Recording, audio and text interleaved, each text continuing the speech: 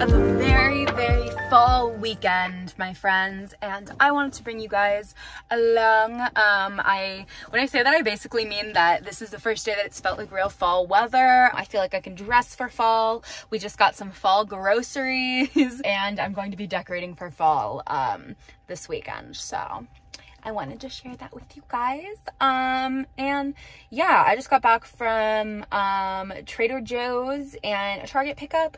So yeah, let's go inside and I'll show y'all what I got for the season. Okay, Target or Trader Joe's first? I hope you said Trader Joe's because those things need to go, some of them in the fridge. So we're gonna do that one first.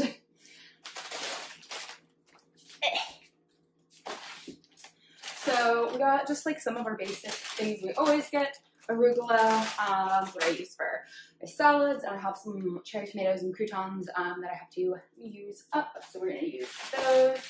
Naan, I got two packages of plain and two packages of garlic because I eat a lot of Indian food and I eat this with those and I also eat it with salads and then I also taken eating the plain one with some of the fall harvest soup that I have from Trader Joe's as well. So that's just basically like our bread supply. Um, vegetable broth, um, again, just one of the recipes I make. Um, the like coconut milk chickpea curry. Um, I use that, which I'm to be making later this week. And then for the first time of the fall, we're going to be making the dupe of the Trader Joe's butternut squash mac and cheese. Um, I don't remember the name of the person that posted the recipe to TikTok, and I found it on their website. I will link it below though. It's the easiest recipe. Um, you really just need like a blender or a food processor. I have like my little Ninja blender, um, like the Bullet Ninja blender, and so that works. Um, but I got the three types of cheese that I use in that. Gouda, um, I get just the thousand day Gouda. That's their like most normal Gouda at Trader Joe's. They have like a bunch of them. They have sheep's milk Gouda now. It's insane. Um, the unexpected cheddar, I use that for the cheddar cheese that it calls for. And then Parmesan um, from Trader Joe's. I get the one that's been like grated um, and then like weighed just because I feel like there's more and it's fresher, um, but that's gonna last for frickin' ever. Um, one of the things you find out when you're an adult is how expensive Parmesan cheese is, and then you realize why your parents always just bought the Kraft bottle shaker kind, um, because it's because of how much this costs, and children don't care. Um, I became a snob child once I reached my teenage years and I cared.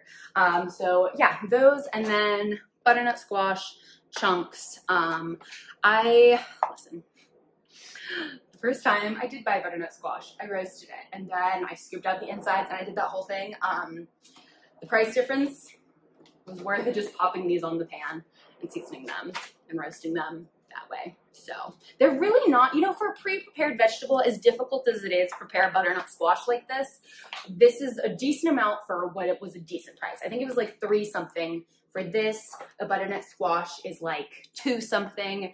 Yeah, I'd pay a couple dollars for someone to go through all of that for me. So, personal opinion. And then I got one, two, three, four happy little miniature pumpkins. Um, I got two of their big brothers outside guess. I don't know, like the big normal size pumpkins. I got two of those and four of these. I'm going to be using them in my 13 Thrifted Nights um, costumes for the photo shoots um, I'm doing for those for Instagram. Um, that project is like mostly to relaunch my Instagram, but also because I wanted to do it. So if you are interested in seeing the photo shoots with these pumpkins with all of my 13 thrifted Halloween costumes, go on over to my Instagram, follow me there. I will also be posting a TikTok all of them, so follow me there as well, but especially on my Instagram because we have like eight years uh, worth of Instagram work that just went down the drain. It's not a big deal, um, but that's what these are for. I'm very excited. And rounding out Trader Joe's, I just got two bags of the pasta that I use for the butternut squash mac and cheese. I get the brown rice and quinoa fusilli pasta. Um, I got two bags of them just because all that cheese actually makes like a few batches. Um, and then the butternut squash is good for one. And so I'll only have to go rebuy the butternut squash when I want to make another. The last two things I got from Trader Joe's are my treasured apple cider donuts. I love them. I love them so very much. Um, they're only out during the fall time, so had to get them. And then our um, lemon room spray from Trader Joe's is running a little bit low, and so they have a like seasonal um, one of these. I don't know pomander. I don't know what that is, but it says with orange, mandarin, cinnamon, and clove. Um, and I love all of those things. So this is gonna be, once the lemon runs out, our new like post-poop spray. Um, I think I just should have said bathroom spray, um, but all I could think of was Poo-Pourri. It's not Poo-Pourri because you don't put it in the toilet. Anyway, moving on, we're talking about food. Um, Target. I did a pickup order from Target and then like the disgusting little millennial I am went inside and bought two more things. Um, shredded Mexican cheese. I like the size and the price at Target better. One the one at Trader Joe's every year during fall. I found these last year, the pumpkin cheesecake cookies um, from the Favorite Day Target brand. Listen, sometimes these Favorite Day cookies are fantastic and sometimes they're terrible. These, fantastic. Um, they also have a caramel apple one. They're like little cookies. Those are so, so good. I haven't seen those this year yet, but these, fantastic. And then um, I got some Halloween candy. I got some Halloween candy because it's cheaper than it's going to be once Halloween draws nearer. I'm not going to eat it all by then probably. I'm going to sprinkle it out through the month of October like a responsible Halloween candy loving festive adult. Um, I'm an adult now. I'm allowed to eat Halloween candy during Halloween season as I see fit and festive. And so the choices we made were the mix I get pretty much every year um, just because the only thing it's missing is Twix. And Twix is also always paired with the Milky Way, Three Musketeers, and Snickers bag. I don't really give a fuck about those three. Those are fine. I'll eat them if I'm offered, but I'm not gonna eat many of those. I'd really just be eating the back of the Twix. And so the one we settle on pretty much every year is the Kit Kat Reese's Hershey's and Almond Joy. I'm an Almond Joy person. I like coconut. Um, you, I, I'm not gonna fight you over it. If you don't like coconut, that's fine. Um, but I do, and then I love Reese's and Kit Kats, and so this ended up working out the best. And then there was a deal there was a deal on the fun size. It was Butterfingers and Reese's, and there were already Reese's in there, and I love Butterfingers. I have loved them since I was a kid, um, and they were like partnered with The Simpsons. I just, I love these. Um, they're just a Halloween staple for me, so I'm so excited to munch on those all month long. Um, I have all of my like fall desserts just like locked and loaded and like ready for my consumption over the next few weeks. I'm really excited. Um, and then the things I went inside to grab were just, um, you've probably seen me wear this a lot because I film in it and I do bookings in it a lot, but it is just a cropped black t-shirt. I have a small, I got a medium. I wanted two of them because I wear it a lot and I wouldn't know who I was um, without this t-shirt, frankly. Um, so now I have it in two different sizes, and then I also got a more condensed ice tray with a lid. That's important because once I fill it, I can put a top on it to keep it from spilling between transferring it from where I fill it to the freezer. Um, and I don't like two of the ice trays I have right now. I only like one of them, so I'm gonna keep one of them, and then I'm gonna have this. So yeah, um, I'm sweating and I need to do my workout. So I'm gonna put all of this away. Um,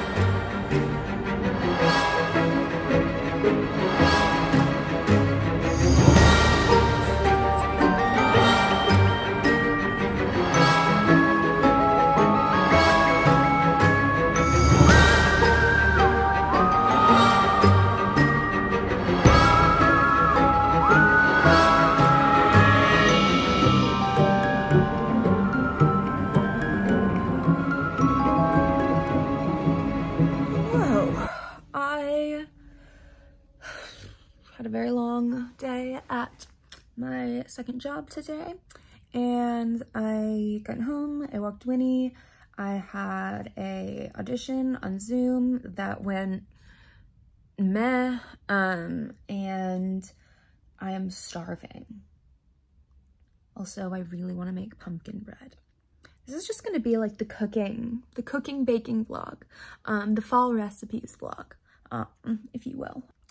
So yeah, we're going to make some food. I don't know if it's lunch at this point. It's like 2 p.m. Um, I guess it's lunch. It's lunch. Um, we're gonna make some food and then I think we're gonna make some pumpkin bread. Um, I also have um, like a art slash home renovation project that I'd like to get going on. Um, or like, I, I don't want to say finish because I'm not sure if I can finish it today, but I'd like to continue and make more progress on. Um, so yeah, that's what, that's what we're gonna do today. I am so incredibly hungry. Like, you don't understand. I can feel my body eating itself from the inside out because of how hungry I am.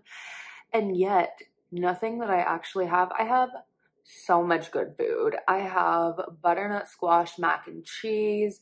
I have autumn soup with garlic naan bread.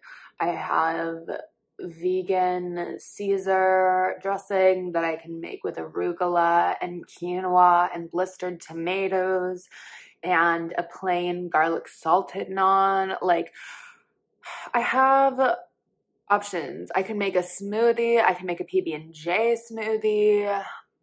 I can make a burrito bowl with some lime and Tajín, but I don't have avocado, I don't want to do that. It's just, it's really shameful. Um, and so I am like sitting here making food like a responsible adult. I'm not going getting something that I do want, um, because that would be expensive. I'm making food here, but I'm like bitching all the way. I'm like getting out the quinoa and just being like, quinoa, arugula, stupid. Like it's it's absolutely ridiculous. Um, let me know if you relate.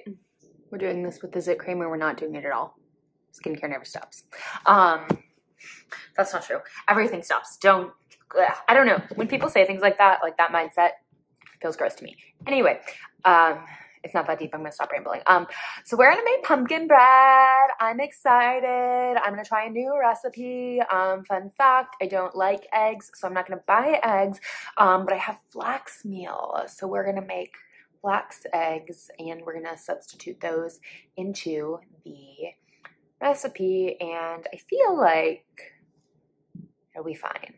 It's been fine with every other recipe I've done it with. Um, so yeah.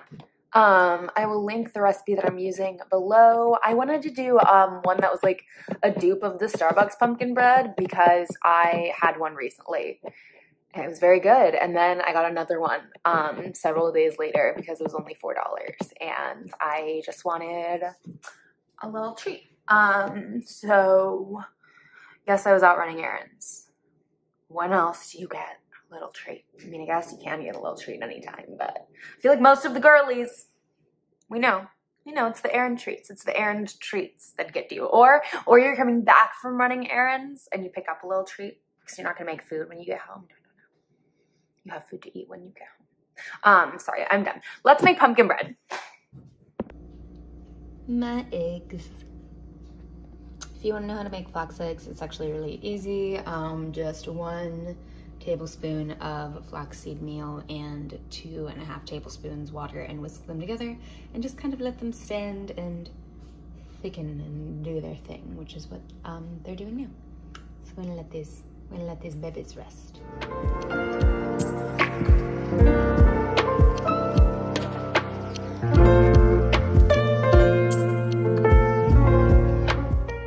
So I actually decided to make the butternut squash mac and cheese for dinner after the pumpkin bread because the oven was already on and I wanted to show you guys because it's super easy and one of my favorite things to make for this season. So it was just the butternut squash and the cheeses that I showed you guys along with a bunch of spices. Like I said, I'll link the recipe below, bay leaves and whatever milk you want. I just roasted the butternut squash with some salt, pep, olive oil, and a little bit of garlic powder. I believe it's at like 375 and then all of the spices go in the blender with the milk and then you put the butternut squash in there. Once it is roasted, while it was roasting, I just grated all of the cheese. Um, this is why I get the Parmesan already grated. And then once the butternut squash is done, I just wait for it to like cool enough for me to be able to like scoop it off of the pan. And then you just blend it to make this sauce that's a really easy consistency to work with. You cook your pasta and then you use the pasta pat. You put some olive oil and a bay leaf in there. And after that's kind of like warm, you add the sauce from the blender and then you use some of the pasta water to help incorporate the cheese into that sauce. So the pasta water is hot and so it kind of just helps the cheese melt into the sauce. And once it's all kind of come together, you add the pasta, mix it up, and that's that on that.